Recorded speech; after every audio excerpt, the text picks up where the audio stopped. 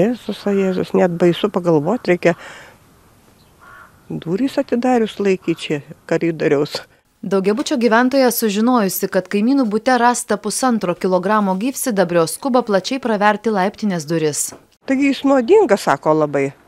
Aš tai ir termometrą labai saugau, kad tik tai nesuduštų kada, kad neišrėdėtų šito gyvsidabrio, čiagi baisus dalykai. Tai kaip jie nenusinuodija dar su šituo. Neįsivaizduoju, nei iš kur gauti, nei, nei kam, kaip čia, kam čia jo įlaikyti. Gavę pranešimą pareigūnai reagavo nedelsdami. Į daugiabutį vienoje pagrindinių Utenos gatvių atvyko policija ir priešgaisrinės tarnybos pajėgos. Buvo gautas pranešimas, kad e, daugiabučiame namo būte iš pakuotės teka gyvsidabris. Tarnybos apie bute laikomą didžiulį kiekį pavojingos medžiagos sužinojo iš medicinos darbuotojų. Jiems apie tai prasitarė medikų rankose atsidūręs buto šeimininko sunus. O buto šeimininkas žinojo, ką jis laiko namuose? Nu, kaip įtariama, žinojo, bet matyti iki galo nesuvokė apie pasiekmes. O Dieve brangus, taigi ir jie pavojinga, ne tik tai aplinkiniam.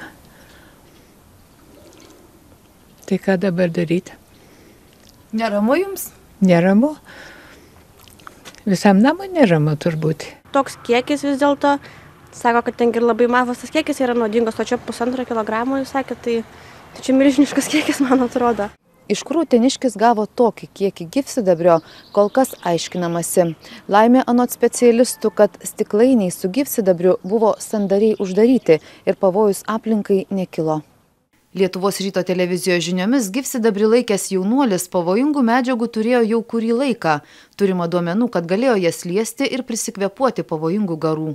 Šilumoje, kaip būtė, pavyzdžiui, sigaruoja per kvepavimo takus, patenka ir, ir daro savo žalą žmogaus organizmui. Šiuo metu gyventojai gali būti ramus to daugiabučio? Taip, to daugiabučio gyventojai gali būti ramus, kadangi iš ties mūsų pareigūnai padarė žvalgybą ir tikrai nerado jokių požymių, kad ten buvo e, išsilieję gyvsidabrio. Gydytojai įspėja, gyvsidabrio garai ypač pavojingi žmogaus sveikatai. Ūmiai apsinuodijus gali sutrikti visų organų veikla, dažnesni lėtiniai apsinuodijimai. Jeigu lietai ilgą laiką žmogus praleidžia toje aplinkoje, kurioje garuoja gyvsidabris, na, tai dažniausiai pasireiškia nervų sistemos pažeidimais. Tai gali būti tiesiog, na, prasidėti nuo nerimo, nemigos, kažkokių tai psichologinių problemų, paskui psichiatrinių. Tai ir kartu gali pažeisti tiesiogiai nervus. Tai yra prasideda žmogus, na, sunkiau susikoncentruoja, jo eisena pasikeičia, rankos, kojos pradeda tirpti, rega sutrinka. Pareigūnų teigimu pasitaiko atveju, kai pavojingo metalo žmonės randa senuose rusiuose, apleistose pastatuose. Reporterės Kristina Ragauskanė ir Aušrinė Ionovienė.